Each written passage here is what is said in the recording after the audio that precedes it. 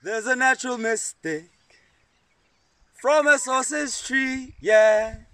There's a natural mystic from a sausage tree, yeah. Kigelia africana, the sausage tree. As you see with this particular fruit, that belongs to this particular tree. Now, they overhang and it is not the type of tree that you'd like to actually camp underneath. With beautiful shade, but not the most friendly because these fall unexpectedly.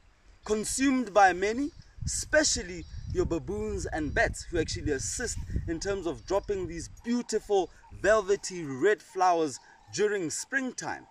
Your impalas will actually go down and consume these flowers. Also the best opportunity for one of my favorite cats, the leopard, which actually uses this as a strategy of hunting. It goes up and simply waits for those impalas who are unexpecting consuming those flowers and actually pounces on them from the very top. Now the wood of this tree is actually soft and is said to not crack. And that's why back in the days, here in the Okavango Delta, the mode of transport through the dugout canoe, remember, the mokoro was made from this particular wood. Now these days, for conservation and sustainability purposes, we do not use any of these trees wood to produce the mokoro. We use fiberglass, just the way we love the wilderness.